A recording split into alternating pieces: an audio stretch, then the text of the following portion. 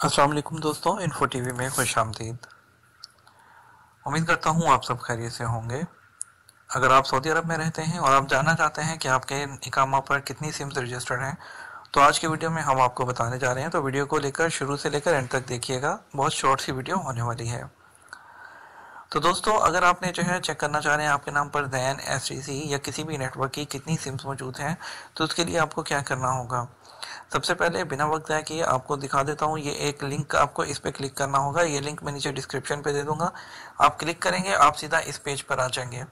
जब आप इस पेज पर आएँगे, आपने जो है इंग्लिश और अरबिक दोनों में से एक लैंग्वेज सेलेक्ट करनी है। आप इंग्लिश सेलेक्ट कीजिएगा और इस पर इंग्लिश सेलेक्ट करने के बाद आप अपना इकामा नंबर इंटर करेंगे। इकामा इंटर नंबर करेंगे और अगर सऊदी सिटीजन हैं तो उनका अपना आइडेंटिटी नंबर या उनका जो भी कार्ड नंबर पता का नंबर होता है, वो इंटर करना होगा। और जो सेकंड बॉक्स है, उसमें आप अपना मोबाइल नंबर इंटर करेंगे जिसपे आपको एसएमएस कोड चाहिए। जैसे ही आप उसमें जो है इंटर करेंगे और आप जो स्किप भी कर सकते हैं मोबाइल नंबर को, अगर आपके पास कोई नहीं है, ठीक है? और लेकिन फिर आपको जो है वो उस सर्विस प्रोवाइडर्स के अलावा बाकी नंबर दिखाएगा।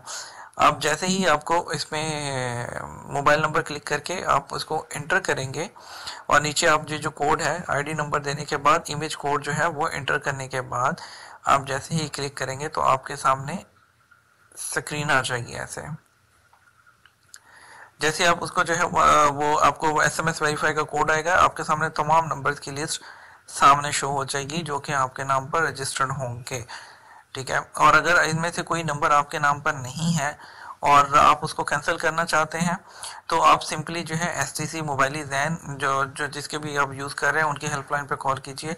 एस टी सी की हेल्पलाइन नाइन सिफर सिफर मोबाइल की वन वन सिफर सिफर जैन की नौ पाँच नौ है और इसी तरह वर्जन की वन सेवन एट नाइन है। और आप इसके इसी इन पे कॉल करके तो अपनी सिम को जो है वो कैंसिल करवा सकते हैं, जो आपके नाम पर रजिस्टर्ड नहीं होंगी। तो इसके साथ ही आपसे इजाज़त चाहेंगे। अगर वीडियो पसंद आई हो तो लाइक ज़रूर कीजिएगा और चैनल को सब्सक्राइब कर लीजिएगा। बेल आइकन को प्रेस भी कर लीजिएगा। इसके साथ आपके मिलना, आपके साथ मिलेंगे एक और नई वीडियो में। तब तक इजाज़त दीजिए अपने होस्ट को। अल्लाह हाफिज़।